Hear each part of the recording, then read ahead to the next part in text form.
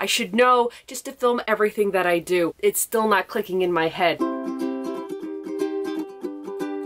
Michelle here and welcome back to my channel and today's video is a weekly vlog. Now here's the thing, I don't know how to start a vlog because I don't know I'm making a vlog until the week is over and I've done a bunch of these things. It's the truth. I don't know when to start a vlog or when to end a vlog. I'm just like, okay, a video has to come out. I guess now is a good time to end the vlog. This is the beginning of the vlog because I don't think I filmed one yet. And I think I'm starting off on a Tuesday. I think it's Tuesday when uh, the weekly vlog started. On Tuesday, I headed to Fabricland because I needed to buy some bias tape for a project that I finished but then I realized I actually needed this for, so I picked up some of that. And then I also had to pick up more of this stuff. I, there's probably a, a technical term, but I don't really know what it is. It's like handles, usually handles that I use to make tote bags and, and stuff like that. And then while I was in Welland, I headed to my favorite value village and uh, did a little bit of shopping. Then later on on Tuesday, I actually hung out with my friend Lily and we did some roller skating. I haven't roller skated in, I think, since 2020. You remember when everyone was really into roller skating and everyone bought roller skates? Well, I actually had a pair before that craze happened but they were black and my sister wanted them. So I gave them to my sister and then I ended up picking these shiny pink ones up, which are super cute. I can't get up it. did it.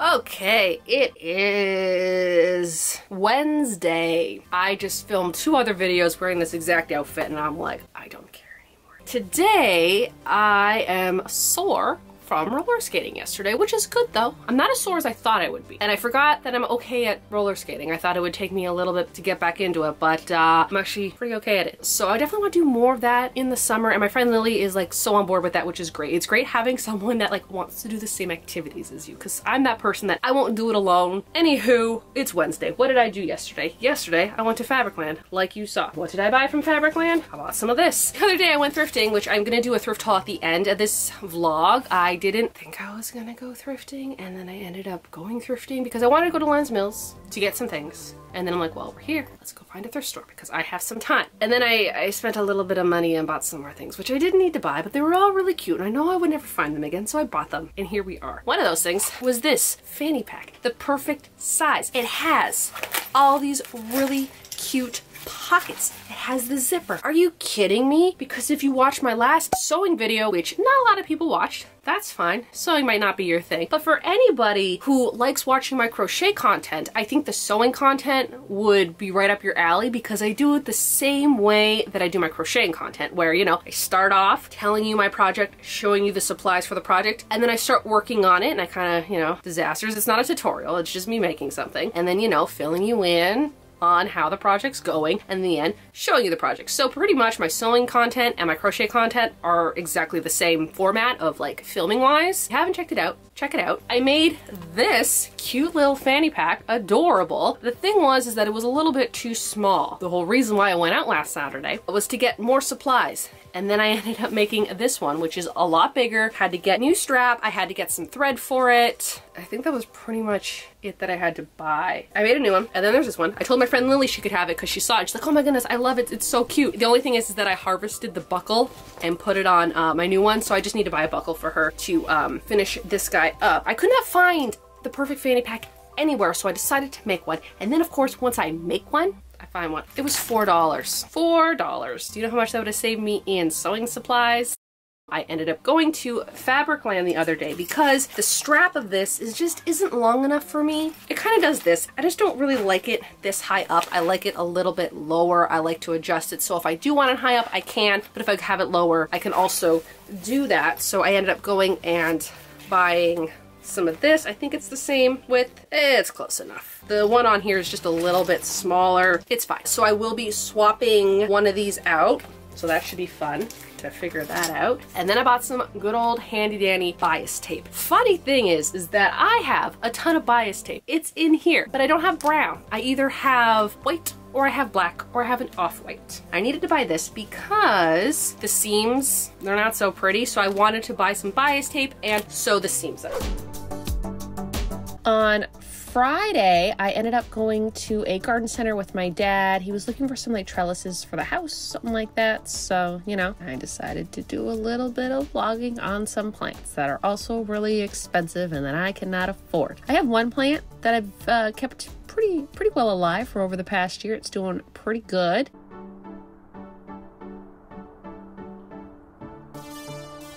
Then on Saturday, me and my sister did a huge thrift thrifting thing. So I thought I would just show you a little bit of footage here of what I did on Saturday. Now this is actually going to be its own thrift haul video next week. And then I went back to Fabricland. Yep, went uh, right back to Fabricland because I needed some more things. I, I ran out of black thread. I should know better. I should just stock up on black and white thread, but I never do, and then I run out. Anywho, had to uh, pick up some more bias tape because the bias tape that I bought previously on Tuesday wasn't the right size. And then I wanted to look at some of the fabric. I I love this pie one. It was so cute. Absolutely love this one. But I just didn't have a project for it, so I didn't buy it, but I kind of wish I did. And then of course we headed over uh, to Michael's. That's a nice part. Look at that. Look at that storage. I want to get one of these, but they're like 50 bucks. And then, of course, you know, ended up in the yarn section, which, putting it out there, I actually had to buy yarn. Usually I just end up at Michael's and then buy yarn that I don't need, but I needed to go to Michael's to buy certain yarn colors. These two The I'm not gonna have. Oh, I need to get some more Bernat. See, they got the pantaloon. Oh. Good for sweaters. You get a lot in it. Yeah, that's the one I have. That's what I'm using for the car. Mm-hmm. What's that? Oh, I don't know, but I Look at the, they, they changed the font. Look at the font. Show the viewers the oh. font. I like that font. That's so pretty. I actually really And like. I really like this color. I just wish it wasn't as brown. I wish it was more black.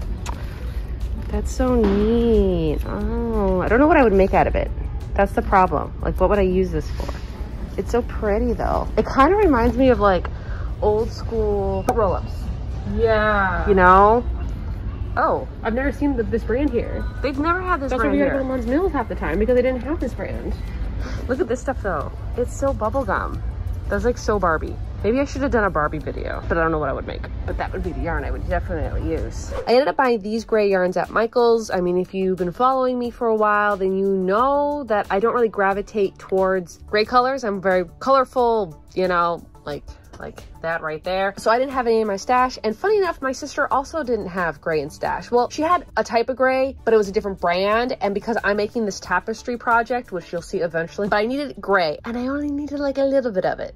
So unfortunately, my sister didn't have any. I needed the Impeccable brand because the rest of my project is also going to be Impeccable plus Bernat, but the Bernat is so close to Impeccable that I just deem it as the same thing. And then I also just picked this up. Every three months, I usually just pick up a new one of these, depending on what season. It's summer, so I wanted to pick up one that had a little bit of summer stuff, but it also has the fall, summer's there, has some spring, then it kind of has like the cute Christmas and stuff. This is a little bit more expensive and you can't use coupons on this, unfortunately, but uh, Uh, you know, I saw it, so I bought it. So we just got out of the estate sale and like we got there late too. We got there like an hour and a half after it started and I thought all the good stuff was gonna be gone. But this is what my sister found. Sock forms for crocheting and knitting socks. My sister got, and there's like thingies in there for sewing. I don't know what any of it means. Yeah. But she, it matters to her. This little booklet belongs to something that I bought and then this is just a book, you know, for sewing machine that I may or may not eventually have. And then I found this Elna sewing machine, which is different than the Elna sewing machine I have. I'll show you when I get home. And then I found this retro fan, which I've been looking for forever for $8. Because you saw one at Value this. I did. It was 20 bucks. And then I found some fabric, which I will also show once I get home. But all of this was $30. All right, and now we are back present day. It is now Monday, the following Monday. So it's been a whole entire week. And I did more things than I thought I was gonna do. So here we are. I would have started this vlog on the Saturday prior because me and my sister did go thrifting and to Lens Mills and everything like that. But here's the thing. I didn't know I was making a vlog at the time. I didn't film anything. By this point in my YouTube career, I should know just to film everything that I do. It's still not clicking in my head. Like I mentioned, I believe on the Wednesday, I, or Tuesday, one of the two days, I did go thrifting. I just, I don't want to make this whole thing like a big thrift haul, but I did thrift some things and I was not planning on thrifting. That was the problem is that I was not planning on thrifting. I was planning on going thrifting, maybe finding one or two things and making like a TikTok about it. So I filmed, you know, in the TikTok aspect ratio, which is what, like 9 by 16? Because I did find some pretty cool things. I'll just do like a quick little speed round of things that I thrifted because here's the thing. Last Saturday in the vlog, which I showed a little bit of, I did a huge summer thrift haul, like basically thrifting for the summer. You're gonna have a big thrift haul on Sunday, I believe, yeah, because video comes out Wednesday. So on Sunday, there's gonna be a big summer thrift haul. I'm just gonna kind of speed around what I found because I think what I found was pretty good on the Saturday before, if that makes sense. Might be a little bit confused of where this thrift haul stuff is coming from because I kind of confused myself saying it. And while editing, I'm like, is people gonna understand this? So the thrifting you saw in this vlog was on Saturday the 17th. This one is gonna be a huge summer thrift haul. And then this haul that I'm currently doing is the thrifting that I did on Saturday, June the 10th, which I didn't film because I didn't think I was actually going to find anything and then I found some stuff. So this is the stuff. I found this. It is a 2023 Stranger Things calendar. There's still half of the year left that I can use this calendar for and the artwork is pretty cool. So I mean, I could just take the artwork out and like make a collage or something with it. So the calendar is still good for half the year, which I will use it for. And then when I'm done, maybe I'll use it for something. It was still wrapped up. Nobody used it. I feel like this was a Christmas gift. They forgot about it. And then when they realized I didn't use it for half the year, they donated it. I think it was like $1.99. Then the one thrift store I went to, I found a few fabric things. This yellow bed sheet, it was $3.99. I actually have the blue version of this. So I'm like, oh, I really like the blue version. Let me pick this yellow one up. And then I also found this here. Look how cute these little kittens are. It was $5.99. Really? I paid $5.99 for this? That's pretty expensive for a pillowcase. This was definitely handmade. You know, somebody made it at home just by the way that it, it was. It, it also could have been like someone's first sewing project. So I'll give them that. It's pretty good. I think I might make a tote bag or something out of it. If there was two, probably pillowcases, but because there's one and this fabric is like really heavy duty, I think I'm gonna make this into like a cute little tote bag. And then the other thing I found there, which I can't believe it was there, this here has all these wildlife animals on it. And at the very bottom, it says 1989, which was the year that I was born, so I had to buy it. It was $4.99,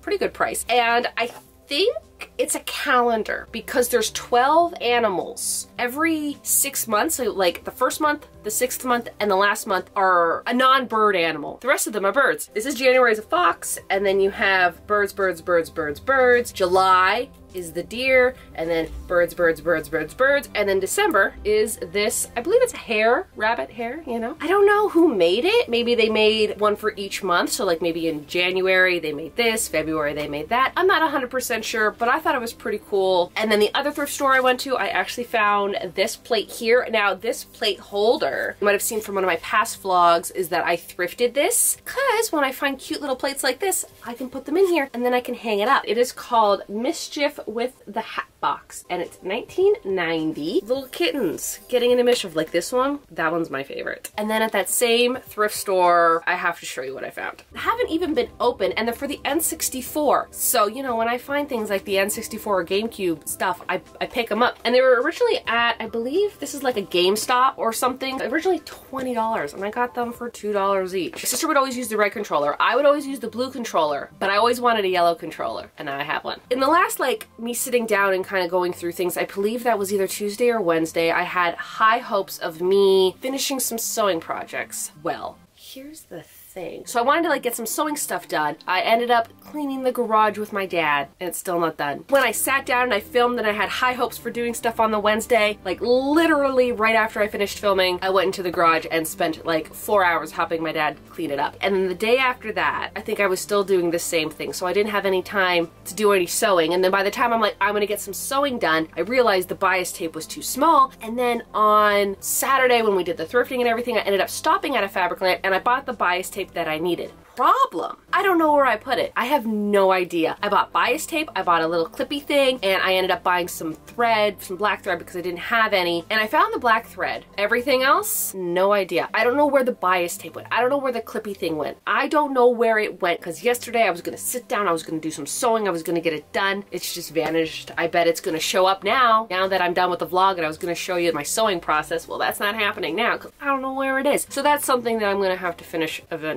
Sunday, we went to an estate sale. It was weird. It was like they took all the contents of a house and they just put it in this garage. And it was set up really nice. It was like set up like a rummage sale, so they had a bunch of tables, which was quite nice. But I do like looking through people's houses when I get to go to estate sales. That's the fun thing. But I did show you what my sister got and what I got, but I can just show you in a little bit more detail of what I found at the estate sale. Found this vintage fan that I have been looking for forever. It is a three-speed fan and the fan actually moves. I tested it. It works fine. I love it. The only thing is, is that I actually like sleeping with the fan on because I like the hum of the fan. This one's really quiet. This vintage fan that is probably 30 years old is like super quiet. It's super quiet but also it works amazing. Like you turn it on three and it's like you're standing in front of like an air conditioning. Like it's just, it works really great. The other thing that I bought was just these. I've always wanted to own them. They are actually patterns that you can buy. I think a meter of it and it comes with this and you just cut them out. You make a little stuffed animal and they're Halloween themed. They also give you all the instructions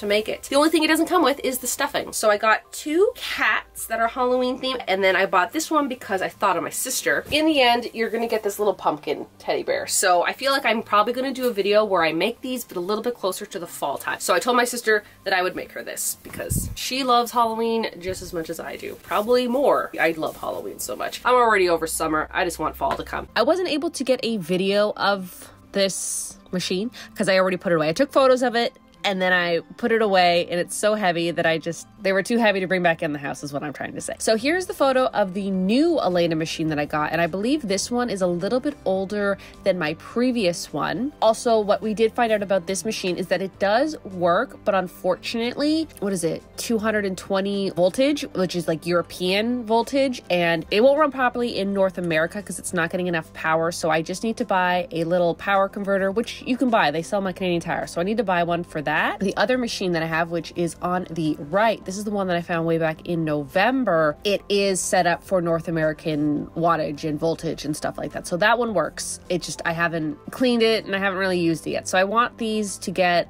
repaired and just fixed up a little bit because they're amazing machines. Like they're so beautiful. I did a lot of stuff last week that I wasn't expecting to do and I found a lot of great things, especially at that estate sale. If you're new to my channel, like sewing, thrifting, crafting, and of course crocheting, why not hit the subscribe button? You can also follow me on my Instagram and my TikTok. I think that's it. See y'all have a good day now.